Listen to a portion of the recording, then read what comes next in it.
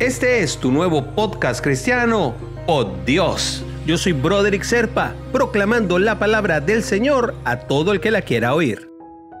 El devocional del día de hoy nos lleva hasta los Proverbios, capítulo 18, versículo 22. El que haya esposa, haya el bien, y alcanza la benevolencia de Jehová.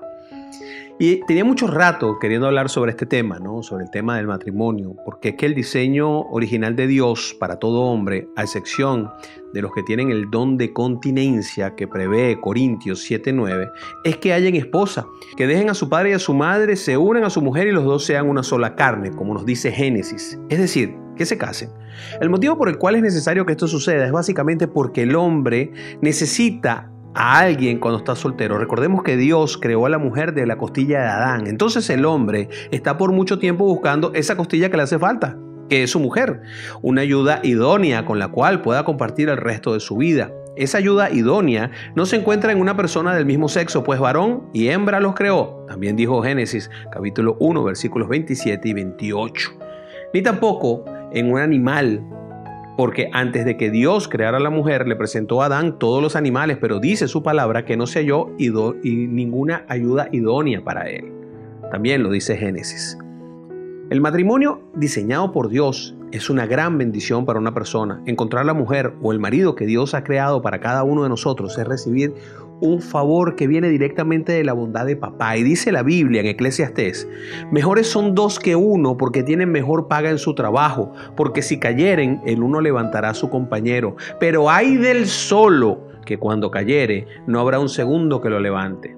También, si dos durmieren juntos, se calentarán mutuamente, mas ¿cómo se calentará uno solo? Y si alguno prevaleciere contra otro, dos resistirán. Y el cordón de tres dobleces jamás se rompe. La unión entre un hombre y una mujer bajo la dirección y bendición de papá es el mayor logro que puede alcanzar una persona. Y vamos, y vamos a esto, ¿no? Es algo que hoy en día está siendo muy atacado por la sociedad, pero el amor de Dios y la comunión de la pareja con papi va a hacer que lo que Él una no lo separe el hombre. Y te invito a orar, mi hermanito, mi hermanita. A ver, Padre, tu voluntad es buena, agradable y perfecta. Sé que me has creado con un propósito y que has creado a la persona con la cual deseas que yo lo cumpla. Así que oro a ti, papá, pidiéndote dirección, revelación, paciencia y amor suficiente para encontrarla, aceptarla, amarla y vivir con ella toda la vida, cumpliendo tu voluntad y dando testimonio de tu gran benevolencia. Esto te lo pido en Cristo Jesús. Amén, amén y amén. Si quieres recibir por Dios directamente en tu WhatsApp, simplemente comunícate por esa misma vía, por WhatsApp, al 904-274-3131. Te lo enviaré todos los días.